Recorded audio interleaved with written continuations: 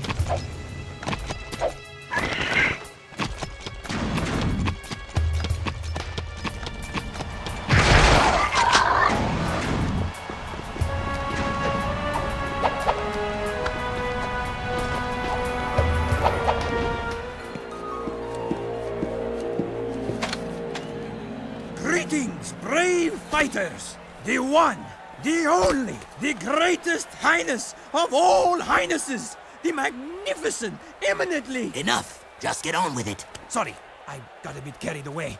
Did I mention how fabulous your hair looks? Pecker! Yes, right. Another round of games has been called. This is combat to the death. Good luck, and may the bravest man, or in some cases animal, win.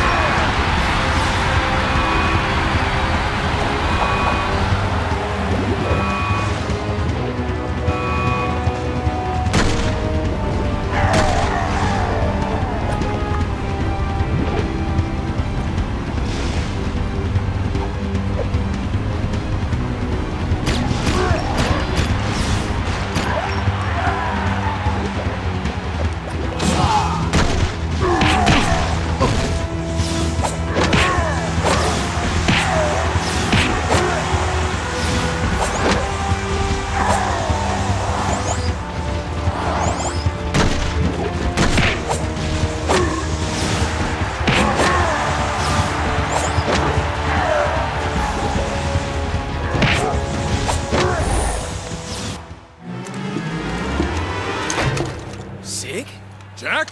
Daxter? Sig! Well, don't you two look sorrier than ever. What are you doing here? Honing my skills. Let's finish this. Whoa, come on, Sig. I'm not gonna fight you. If we don't, he'll kill us both. Rule of the arena.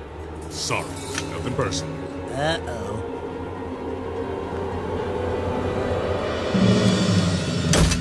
Blasphemy! One must destroy the other. Complete the test, or face worse pain. I just know I'm gonna regret this. Seize them!